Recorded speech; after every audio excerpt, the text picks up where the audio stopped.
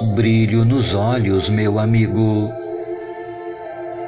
Nunca permitas que as dificuldades que te são impostas pelos importunos da vida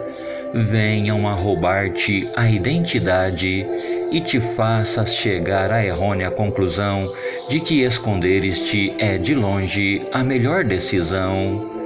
Enfrentarmos os nossos problemas tendo paciência e buscando a sabedoria, certamente nos será a melhor saída para que não entremos no beco sujo e escuro da solidão e do derrotismo.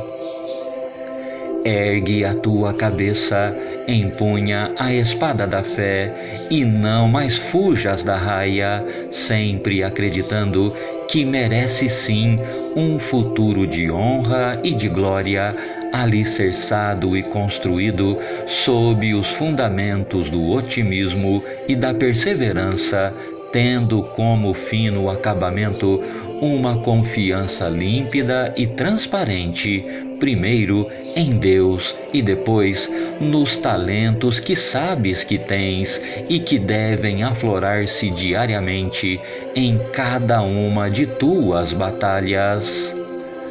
A partir de hoje, meu amigo, brilho nos olhos, o Senhor é contigo e que todos estes inimigos internos que te afligem se transformem em cinza e sejam definitivamente retirados de tua vida,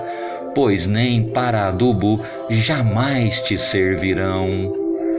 Quando conseguires te limpar destas incertezas que hoje entenebrecem o céu de tua esperança, perceberás que Cristo, a estrela da manhã, nunca deixou de brilhar e de interceder por ti, e nem de iluminar esplendorosamente todos os teus abençoados e ungidos caminhos.